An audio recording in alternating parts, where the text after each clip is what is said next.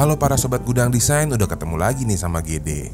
Hari ini GD ingin membagikan desain rumah yang berada di atas lahan yang tidak persegi nih. Seperti apa nanti kita lihat. Untuk ukuran tanahnya adalah 9 kali 9 meter. Ini untuk ukuran simpelnya dulu ya kak. Sekarang kita langsung lihat aja yuk seperti apa desain rumah hari ini dari bagian tampak depannya. Menginginkan desain rumah yang bisa terlihat gagah, banyak arah bukaan dari luar, serta ada area rooftop di bagian atas karpot, itu adalah bunyi permintaannya. Jadi bacakan dulu data-datanya ya. Rumah ini berdiri di atas tanah 78 meter persegi, luas bangunannya 110, budgetnya di kisaran 390 sampai 450 juta. KGD kok luas tanahnya 78 kan 9 kali 9 Nah agar Nasista bisa lihat itu di bagian pojok dari denahnya ada sisi yang terpotong berbentuk segitiga. Jadi rumah ini bagian depannya memiliki lebar 9 meter, namun di bagian belakangnya hanya 6 meter. Rumahnya kali ini pun akan memiliki tiga buah kamar tidur, satu di lantai bawah tadi dan dua di lantai atasnya ini ya kak. Di bagian lantai atasnya ini juga akan ada area ruangan keluarga yang tepat berdampingan dengan area rooftop di bagian atas dari carportnya. Sementara untuk desain atapnya kira-kira seperti ini ya kak. Gede menggunakan desain atap perisai pada desain rumah sore hari ini. Yang mana bagian atap perisainya Gede kombinasikan dengan beberapa pasangan kanopi kaca Dan ada sebuah bukaan sunroof dari bagian atas kamar mandi yang ada di lantai 2 Khusus yang bagian lantai 2 nya tidak Gede bangun sampai ke bagian belakang Namun Gede sisakan satu setengah meter dari batas belakang tanah jadi di lantai dasarnya bisa ada bukaan kanopi kaca lagi Tepatnya dari bagian atas area servisnya ya kak. Nah sekarang kita lihat lebih detail bagian tampak depannya lagi. Sobat GD yang meminta ukuran ini menginginkan banyaknya bukaan menuju ke bagian dalam rumah Termasuk bukaan besar di bagian ruangan tangganya. Seperti akan kita lihat, tepat di bagian atas dari area teras dan pintu masuk utama ke rumah kali ini ada satu buah bukaan jendela besar yang mengarah ke bagian tangga di belakangnya. Untuk membentuk bagian tampak depannya ini, GD juga memadukan pasangan panel conwood, cat outdoor yang berwarna putih dan juga abu-abu ya kak. Setelah kita lihat sisi kanan, kita akan pindah ke sisi bagian tengah rumah. Di bagian tengah rumah ini juga ada bukaan jendela besar di lantai dasar dan di lantai dua. Dan rumahnya ini menghadap ke arah timur ya kak.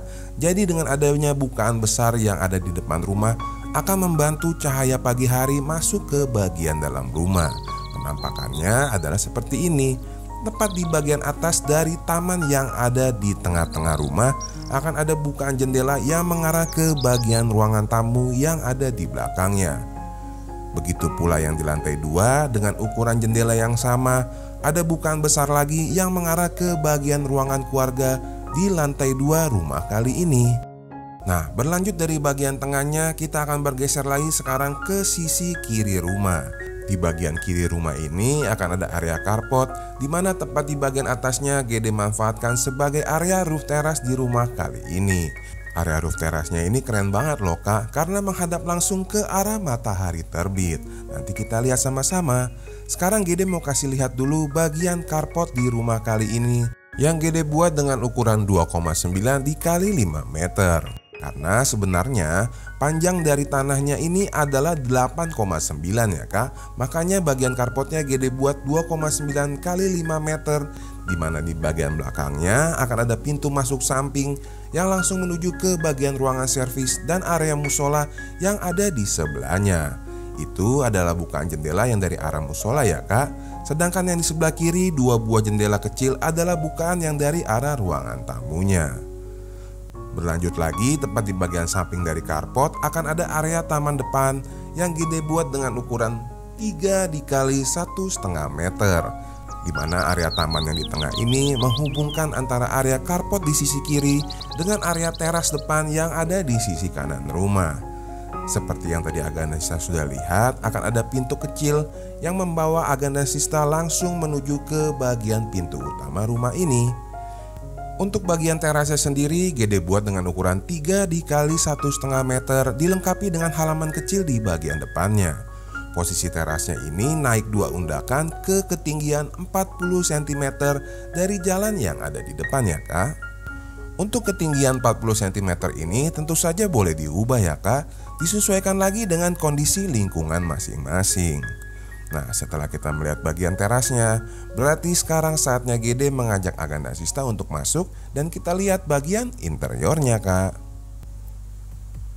KGB Untuk bagian interiornya aku maunya warna putih, warna abu-abu yang dominan di rumah kali ini ya Kira-kira begitu bunyi requestnya kak maka itu sesaat Agan dan Sista masuk langsung diterima di ruangan tamu yang penuh didominasi dengan warna putih, warna abu-abu dan sedikit sentuhan kayu di bagian meja sudut dan juga bagian pintu masuknya tuh kak. Tentu saja sentuhan kayu ini untuk memberikan warna tersendiri sehingga membuat ruangan tamunya tidak pucat.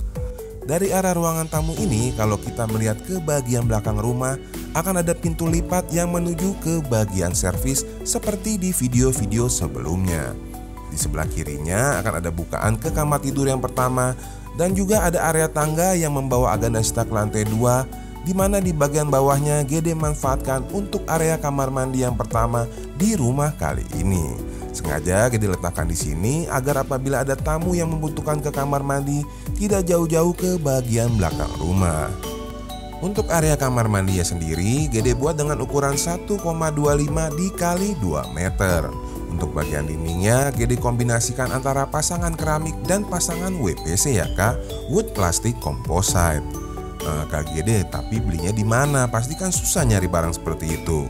Nah, ini di bagian bawah video tepatnya di bagian deskripsinya sudah GD berikan link pembeliannya ya supaya Aganda Sista nggak susah mencari itemnya.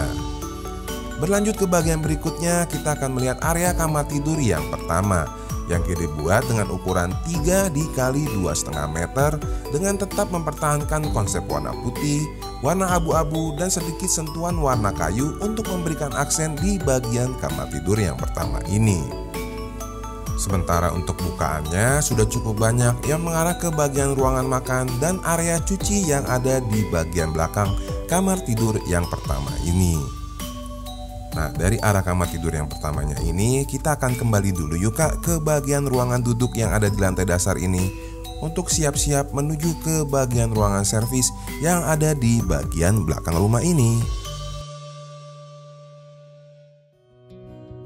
Terpengaruh dengan beberapa video GD sebelumnya, sobat GD yang meminta ukuran ini pengen banget kalau area ruangan duduk yang ada di lantai dasarnya menyatu dengan area ruangan makan yang ada di bagian belakangnya.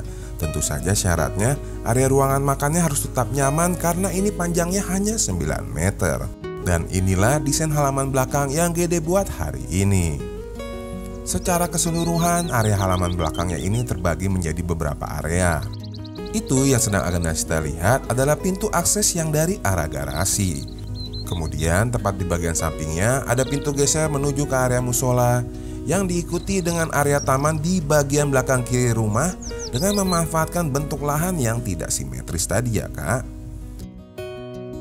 Sementara di arah sebaliknya, tepatnya di bagian samping dari area kabinet dapur adalah area laundry di rumah kali ini. Dan tentu saja di area belakang ini juga akan ada area dapur dan area ruangan makan yang gede buat dengan total ukuran 3 dikali 4 meter. Ukuran ini sudah cukup oke untuk menempatkan satu buah meja makan di bagian tengahnya tanpa mengganggu sirkulasi yang menuju ke bagian dapur di belakang ataupun ke ruangan cuci juga ke bagian musola ini. Sekarang kita lihat juga bagian musolanya. Untuk area musolanya GD buat dengan total ukuran 2 kali 2 meter dengan diberikan akses pintu geser yang mengarah ke dalamnya. Musola ini letaknya persis di bagian belakang karpot ya kak. Seperti yang agak kita lihat selain ada bukaan yang menuju ke bagian karpot ada juga bukaan yang mengarah ke bagian taman segitiga yang ada di belakangnya. Sekarang seperti biasa dari arah musolanya, GD ingin kasih lihat taman yang ada di bagian belakang yang tentunya Agandasisa sudah paham kenapa GD buatkan taman di daerah sini. Selain untuk memberikan kesan asri di bagian dapur dan ruangan makannya, tentu saja area taman ini GD desain supaya Agandasista punya spot untuk mengambil air wudhu dan tidak perlu jauh-jauh dari arah kamar mandi yang ada di bagian dalam rumah. Nah, dari arah sisi kiri rumah, kita akan pindah ke bagian sisi kanan rumah. Ini Gede mau kasih lihat sirkulasinya. Dari arah musola, kita akan lurus ke bagian belakang lalu berbelok ke arah ruangan laundry tanpa terganggu dan kita bisa bergerak bebas karena ukuran dapurnya yang cukup besar tadi 3 dikali 4 meter Nah untuk ruangan dapur dan ruangan laundry yang ada di bagian belakang ini Di bagian atasnya GD tutup dengan kanopi kaca yang bisa digeser-geser ya kak Jadi uap makanan bisa keluar Namun cucian pun bisa aman tidak kehujanan apabila Aganasista sedang pergi keluar rumah untuk area laundrynya sendiri, di sini GD buat dengan total ukuran 3 dikali satu setengah meter. Nah itu ya kak, bukaan kanopi kaca yang bisa digeser yang ada di bagian atas dari dapur dan ruangan laundrynya. Kak GD, kalau untuk kanopi gesernya beli di mana ya? Aganasista bisa mencari tukang aluminium terdekat, nanti mereka akan datang ke rumah, mengukur lokasi, Lalu mereka akan menghitung jumlah kebutuhan bahan dan ongkosnya. Apabila sudah cocok akan mulai dikerjakan di workshop mereka dan kalau sudah siap akan dipasang di lokasi. Begitu pula jika Sista menggunakan jendela-jendela aluminium ya. Nah sekarang langsung aja kita lihat lantai duanya yuk kak. Setelah kita melihat area-area yang bersifat publik di bagian lantai dasar, kita akan melihat area di lantai dua yang lebih menunjang kebutuhan untuk penghuni rumah. Ada dua buah kamar tidur lagi di sebelah kiri kamera, juga ada ruangan duduk keluarga yang tepat berdampingan dengan area rooftop yang ada di sampingnya. Untuk area ruangan keluarganya sendiri, GD buat dengan ukuran 3 x 4 meter sudah dilengkapi dengan bukaan besar yang mengarah ke bagian depan dan samping kanannya. Tepat di bagian belakang dari sofa, di salah satu sudut ruangan keluarga, Gede berikan sebuah meja konsol lengkap dengan lukisan di bagian atasnya untuk memberikan aksen di bagian ruangan keluarga ini. Yang sedang akan kita lihat itu adalah pintu menuju ke kamar tidur yang kedua dan pintu kamar mandi yang berada di tengah antara kamar tidur yang kedua dan kamar tidur utama yang berada di bagian belakang dinding yang ada meja konsol ini. Untuk kamar tidur yang keduanya sendiri, GD buat dengan ukuran 3 x 3 meter, sudah ada dua buah bukaan yang mengarah ke bagian belakang rumah. Seperti yang agak Nasita tahu, tadi untuk bagian lantai duanya ini tidak Gede bangun semua sampai ke bagian belakang tanahnya. Gede sisakan satu setengah meter sehingga bisa ada dua bukaan yang mengarah ke bagian belakang rumah. Dari arah kamar tidur yang kedua ini, kita akan bergerak ke sampingnya untuk melihat area kamar mandi di lantai dua yang menunjang kebutuhan penghuni yang ada di lantai atas ini. Untuk area kamar mandinya dia dibuat dengan ukuran 1,5 kali 2 meter lengkap dengan bukaan yang mengarah juga ke bagian belakang rumah. Untuk bagian dindingnya, kamar mandi yang di lantai 2 ini Gede hanya pasangkan keramik aja ya kak. Namun apabila ingin menggunakan WPC seperti di kamar mandi yang pertama, itu juga boleh. Sementara untuk pintu showernya, Agan dan Sista bisa pesan sekalian di tukang yang mengerjakan kanopi geser di bagian dapurnya tadi. Berlanjut ke bagian berikutnya, tentu saja kita akan lihat area kamar tidur utama yang GD desain spesial mengikuti konsep interior dari rumah ini yaitu banyak menggunakan warna putih dan warna abu-abu. Dengan penggunaan warna yang muda ini membuat area kamar tidur utamanya terkesan sangat luas, bersih dan nyaman ya kak. Untuk bukaannya seperti biasa di bagian atas nakas ada dua dan juga ada satu lagi bukaan yang tepat berada di bagian samping dari lemari bajunya menuju ke bagian roof terasnya. Kalau agak nasista suka nggak nih kamar tidur utama yang menggunakan warna putih dan abu-abu ini? Kalau GD pribadi suka banget nih kak Apalagi kalau ditambahkan sedikit aksen warna-warna kayu di bagian lemari baju, di bagian atas dari meja rias dan meja TV-nya. Jadi makin oke tuh kak kamar tidur utamanya. Nah setelah kita melihat area kamar tidur utamanya, kita kembali dulu yuk kak ke ruang duduk keluarga untuk menuju ke bagian roof terasnya kita sudah punya ruangan keluarga yang nyaman, tentunya lebih keren lagi kalau bisa berdampingan dengan area roof teras yang ada di sampingnya. Jadi kalau ada acara keluarga, pintunya bisa dibuka dan terciptalah satu ruangan yang besar tempat berkumpul di bagian dalam dan luar rumah. Untuk area roof terasnya ini Gede desain dengan ukuran 2,9 dikali 3,5 meter di mana posisinya tepat di bagian atas karpot. Sobat gudang desain yang meminta ukuran ini menginginkan ada satu buah sofa outdoor berbentuk L di bagian roof terasnya. Maka itu GD tata interiornya seperti ini ya kak. Dan seperti yang Aganda Sista lihat, arah sofa ini menghadap ke bagian depan rumah, tepatnya ke bagian timur. Jadi apabila di pagi hari, Aganda Sista coba bayangin deh. Sesaat Agan dan Sista bangun dari tidur dari arah kamar tidur utamanya, langsung bergerak menuju ke bagian roof teras ini. Duduk sambil menikmati secangkir teh, menghadap ke arah matahari terbit.